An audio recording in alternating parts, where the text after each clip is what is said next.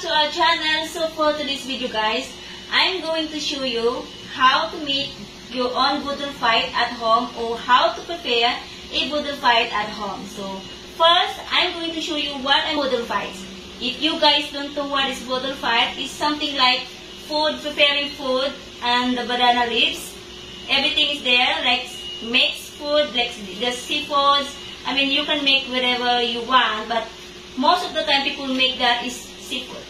But yeah, well, I'm gonna I'm gonna show you guys what I'm going to cook for fight. So we have crab, and we also have shrimp. I'm going to cook this butter shrimp. And this one is the problem because I don't know what it's called It's this in English guys, but we call it kangkong. So say something like that. I know I, I don't know really guys, but maybe you know what it's called of that. So next is we have fish. I'm going to make raw fish. We call it kinilaw. Raw fish like with veg, uh, with vinegar. And this one fish. We uh, we we're going to cook this grilled fish, and this is all the ingredients that I need for cooking. And we also have corn. Uh, we already boiled this. This is for seafood. All the ingredients for our boodle fight. So I'm so excited and I think I'm already hungry guys. So let's start cooking. Let's go!